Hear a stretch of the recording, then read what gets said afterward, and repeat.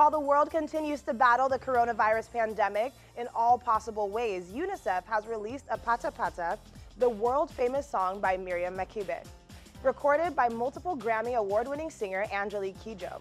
The new lyrics aim to spread information about COVID-19. World famous song Pata Pata, a South African dance hit from 1967, is being re released with new lyrics to spread information about coronavirus to vulnerable communities.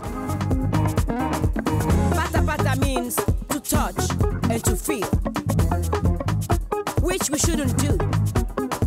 Everybody can help fight COVID 19 meaning touch touch in the Xhosa language. Pata Pata was written by Grammy-winning singer Miriam Makeba, who named it after a dance move popular in Johannesburg at the time.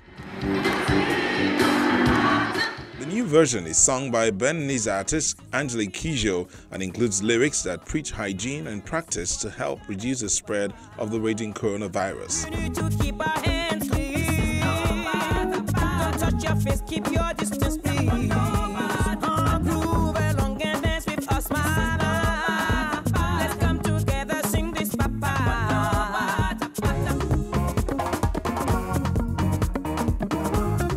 UNICEF representatives say the song is meant to spread joy in hard times.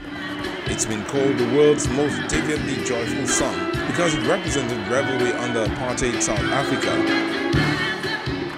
Nicknamed Mama Africa, Makeba helped popularize music from the continent worldwide. She was a friend and mentor to Kidjo, a UNICEF Goodwill Ambassador and one of the biggest African singers of the last decade.